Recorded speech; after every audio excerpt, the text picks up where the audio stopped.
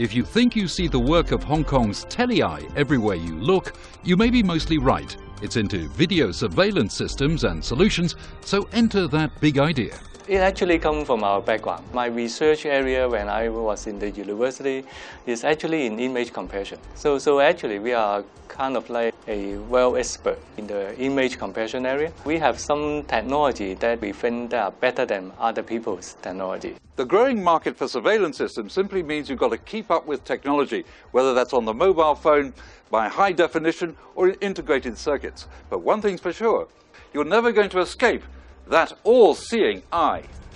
All of which is beginning to look exciting for TeleEye between 5 and 10 years from now. We are in the security surveillance industry. At the moment, all the security cameras, they are analog. They are just low resolution, standard resolution type of cameras. We are developing high definition video cameras. We think in the future, in this 10 years time, uh, definitely the high definition security camera will replace all the analog security cameras. The global marketplace for security equipment is highly competitive, with countries possessing a high tech culture at a distinct advantage.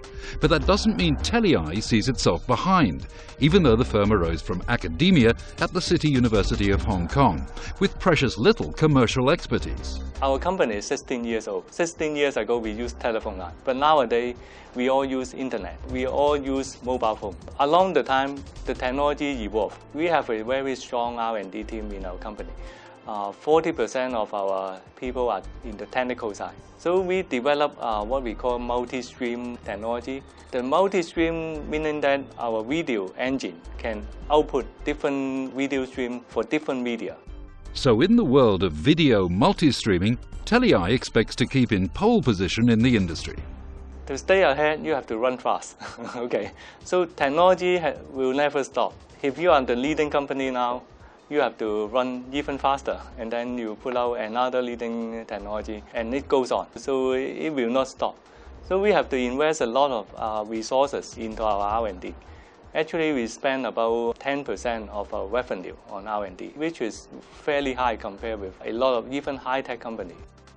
TeleEye has operations in Asia, the Middle East, Africa, Europe and on the Chinese mainland but it's very much based in Hong Kong. In day one, we have to look outside. So when we position ourselves, we look at the global market. We don't just look at the Hong Kong market. So right at the beginning, we plan to do this. So in a way, if you target to do this, then, then your company will grow. Hong Kong is very international in a way, and Hong Kong have a lot of international viewpoint. Information flow in Hong Kong is really fast.